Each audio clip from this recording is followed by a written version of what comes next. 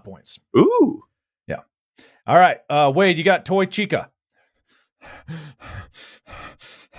Okay. Uh, one head says S. Rational head says probably. I think I know why you were saying that all the fan art was. there was a lot of fan art of this particular Chica, Uh huh.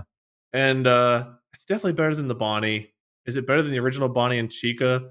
Because of the fan art and the weird ass fucking part of the fandom it brought out, it should probably be F, but also A. F for. F for yeah. Uh, let's go B for bang. Bob. Um. S for Smash. this not only does this character model inspire a ton of fan art, both lewd and non-lewd varieties. There's something about the like black glossy eyes. It's a chicken, but there's no beak. There's like a human-ish smiley mouth situation. Mm. It's like a alien nightmare, like come to you in your dreams chicken. I find it very off-putting and also very hot. S for Smash.